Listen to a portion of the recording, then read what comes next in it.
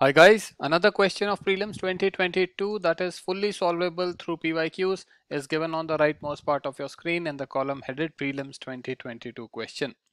In this question, we were given four chemicals and it was asked that excess of which of these chemicals causes acid rain. Okay. Come to the respective PYQ. It was asked in the year 2013. The answer is delta delta is nitrous oxide and sulfur dioxide.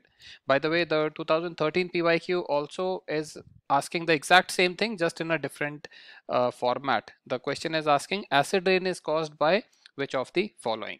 So the answer is nitrous oxide and sulfur dioxide. And if you come to the 2022 question, nitrous oxide is the second entry, sulfur dioxide is the fourth entry and 2 and 4 are present only in one option bravo so this is the answer to this question so guys this is how previous year questions help us in preparing and scoring well in uh, prelims uh, this question and a few others are there i'll put them in uh, the PDF. The PDF is a purchasable product available at rupees 99. All the details will be given in the description of this video.